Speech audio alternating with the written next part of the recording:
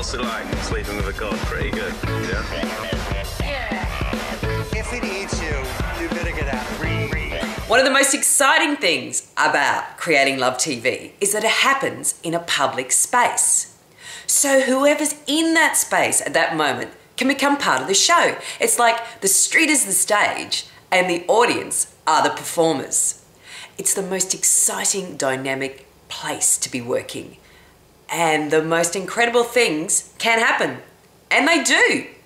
Here's some of my favourite moments from my recent time in New York. I've seen the difference and it's getting better all the time. Before we bring on another guest, Aphrodite, uh, it seems that we may have a bit of a, uh, a mission of mercy. There are some gentlemen here who I'll, I'll let them explain for themselves. Oh, what's happening? Yeah. Something serious happening.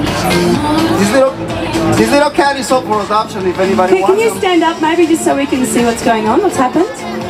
I found them. I can't Oh, keep it's a lost pussy. Oh my goodness. What are we going to do? Anyone here right now? Does anybody need a kitten? like I'm up really close, and this is the cutest It's a thing I've ever little seen in my life. He needs a home.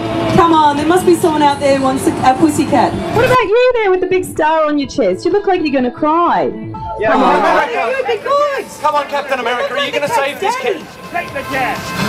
It's my duty. Are you going to got take the beauty. cat? Oh my God!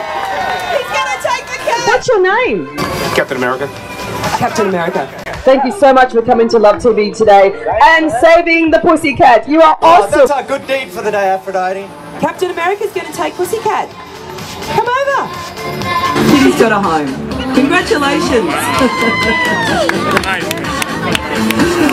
yes, that is ah, Our superheroes are here today. We've got the rat catcher, Captain America, the cat catcher. Dr. Love, the lovers out there tonight. It's, uh, good work, good work, Love TV team, good work. There's nothing you